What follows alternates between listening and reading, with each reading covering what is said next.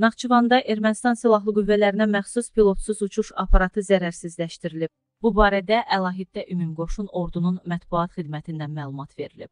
Bildirilib ki, Ermənistan ordusunun təxribatlarına qarşı Azərbaycan ordusunun sarsıdıcı zərbələrindən nəticə çıxarmayan Ermənistan Silahlı Qüvvələri cəbhənin müxtəlif istiqamətlərində kəşfiyyat xarakterli fəaliyyətlərini davam etdirir. Sentyabrın 16-sı gündüz saatlarında Naxçıvan Muxtar Respublikasında Əlahiddə Ümumqoşun Ordunun müdafiə mövqeləri üzərində kəşfiyyat xarakterli uçuşlar həyata keçirməyə cəhd edən Ermənistan Silahlı Qüvvələrinə məxsus pilotsuz uçuş aparatı Əlahiddə Ümumqoşun Ordunun hava hücumundan müdafiə bölmələri tərəfindən aşkar olunaraq xüsusi texniki vasitələrlə endirilərək zərərsizləşdirilib.